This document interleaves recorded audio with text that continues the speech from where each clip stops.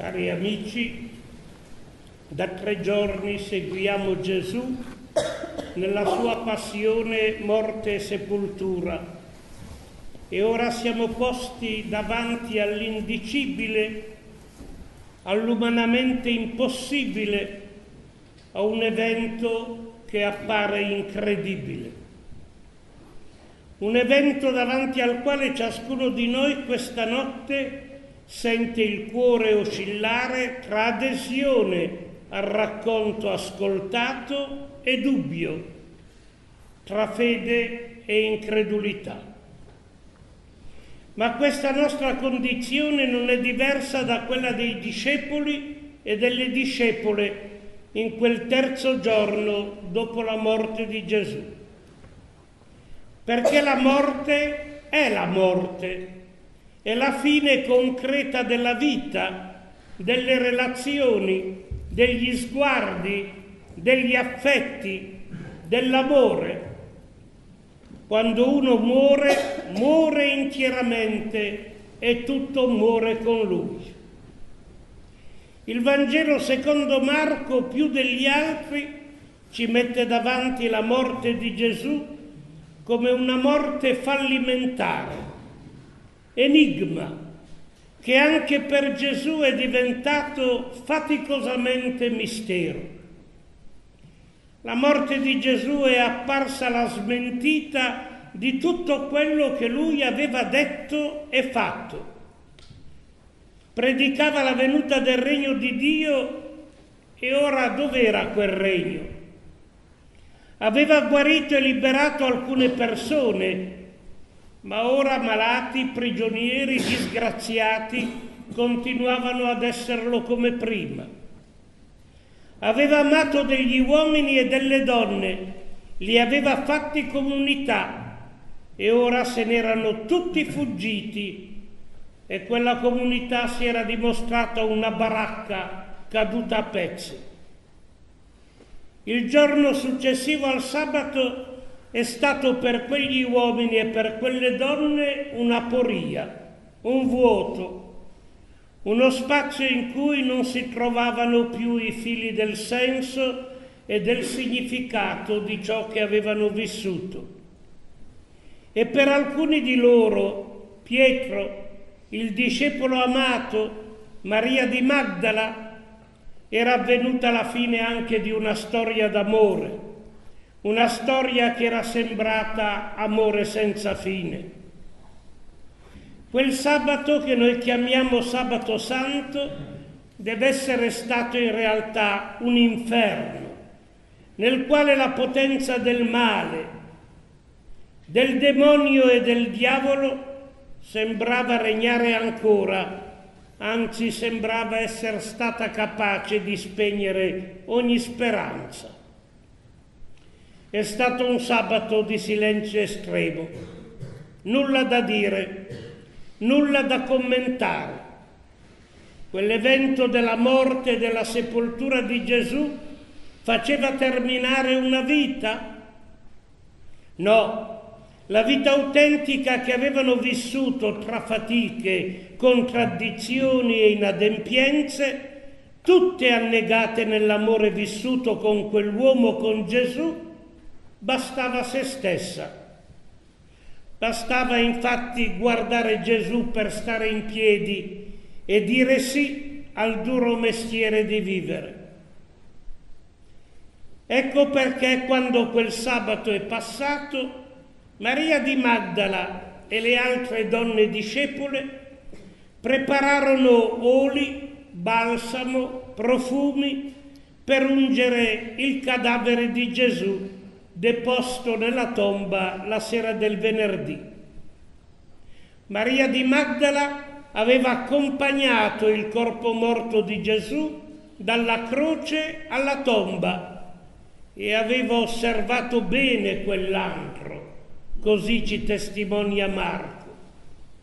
Ora al mattino presto le donne discepole tornano alla tomba quando il sole si sta alzando quale sole si è alzato? Il sole che era spuntato dall'alto e aveva visitato il suo popolo? il sole di giustizia?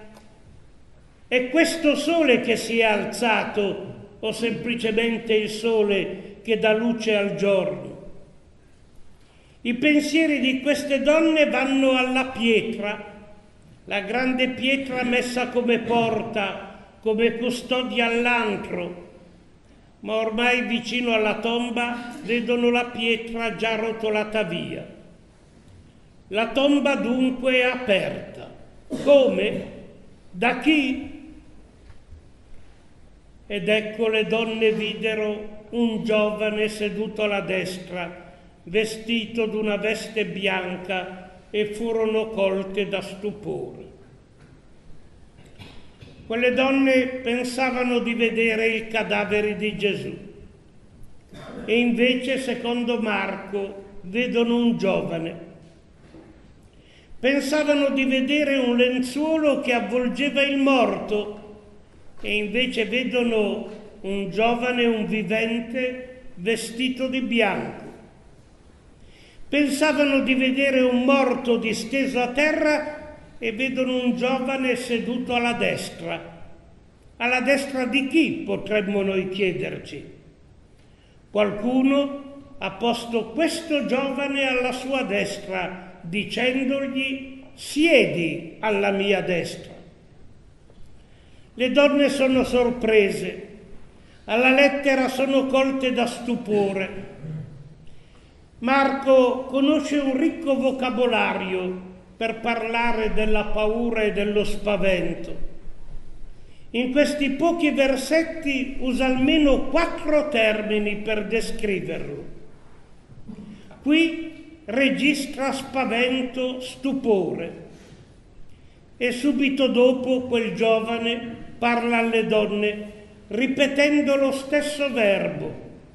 Non siate spaventate, stupite, poi continua, voi cercate Gesù il Nazareno, il crocifisso?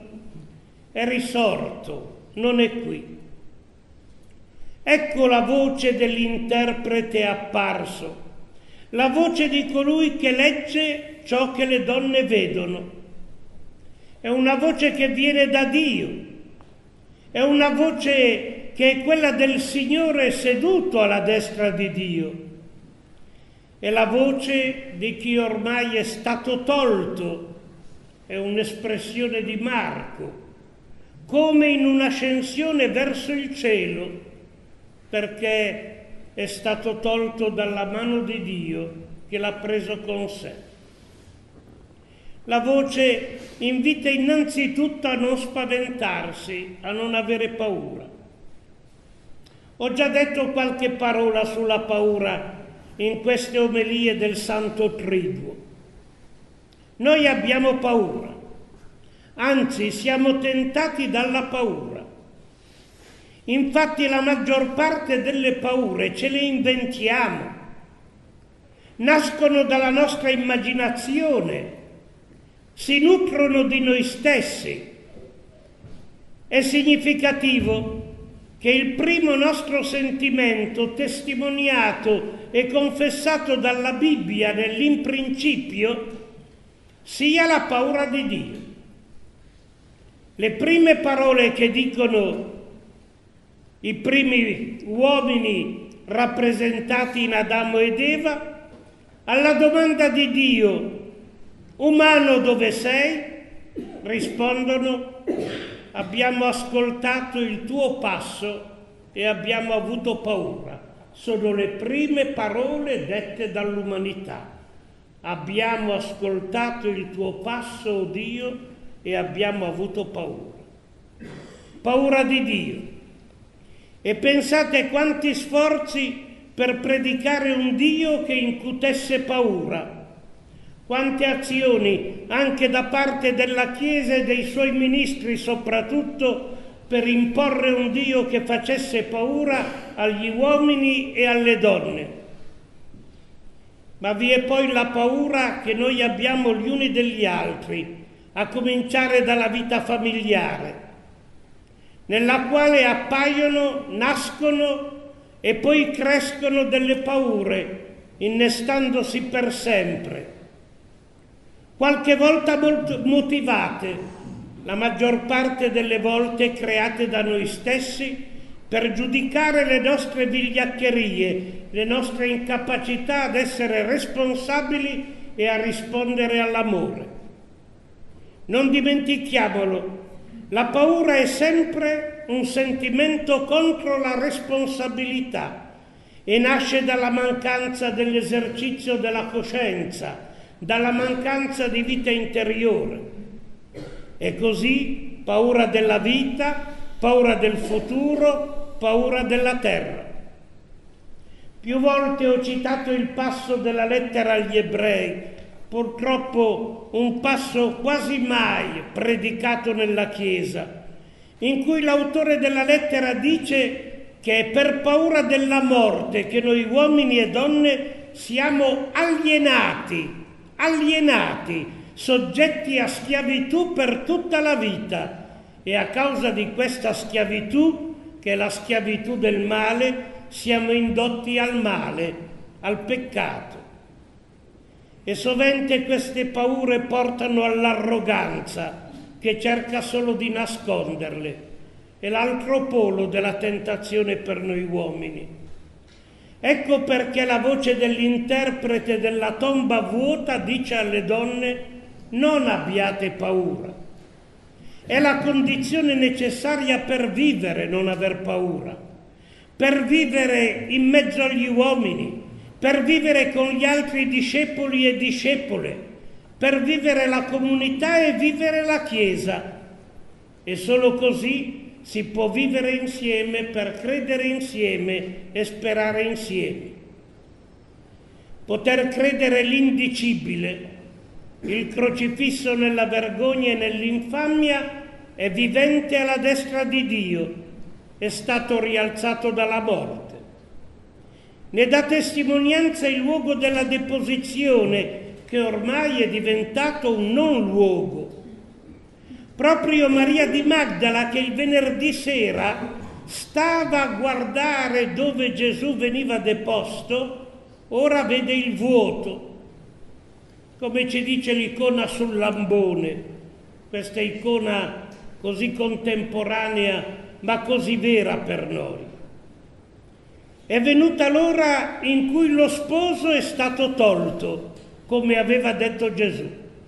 E Maria di Magdala ne ha certamente una coscienza più forte rispetto a tutte le altre donne e rispetto ai discepoli stessi. È venuta l'ora è venuta l'ora per Maria e per le altre donne di andare dai discepoli, specialmente da Pietro, dice il Vangelo di Marco, per dire loro che Gesù li precede in Galilea. Là lo vedranno tutti, discepole e discepole, come Gesù aveva promesso. Là ci sarà il raduno di tutti quelli che hanno avuto paura la sera dell'arresto e hanno abbandonato Gesù e sono fuggiti. Là ci sarà anche Pietro che ha rinnegato ma ha saputo piangere amaramente il suo peccato. A tutti è fatto l'invito semplicemente di stare dietro a Gesù.